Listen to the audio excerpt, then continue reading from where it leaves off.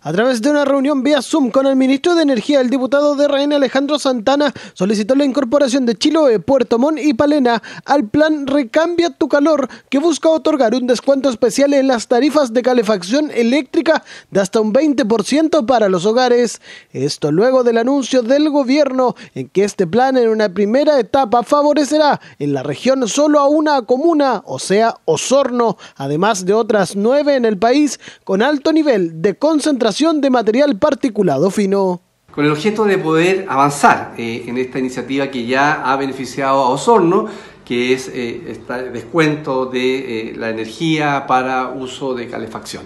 Eh, el ministro se ha comprometido que de aquí a fin de año ¿cierto? se van a ir incorporando otras comunas en el país y especialmente otras comunas en la región de los lagos. Así que nuestro desafío eh, de haber hecho este requerimiento, entendiendo la importancia que tiene, pero también más importante es que amplíe eh, el número de ciudades y también de beneficiarios, se haga realidad. ese requerimiento tuvo una respuesta positiva por parte del ministro Juan Carlos Llobet, así que yo le agradezco de corazón en nombre propio y también de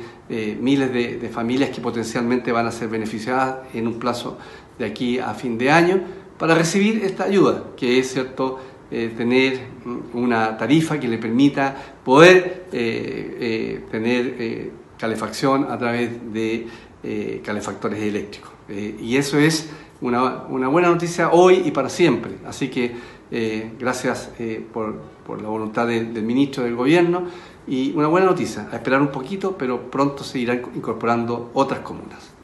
El ministro Juan Carlos Llovet, a petición de Santana, se comprometió a que antes de fin de año se incorporarán a este plan comunas de las provincias de Yanquihue y Chiloé, mientras que las restantes se irán sumando de forma paulatina. En la instancia también abordaron la presunta especulación en torno a la distribución de pellet en la región, antecedentes que el Ministerio de Energía se encuentra recabando para analizar en su mérito y eventualmente hacerse parte en la investigación.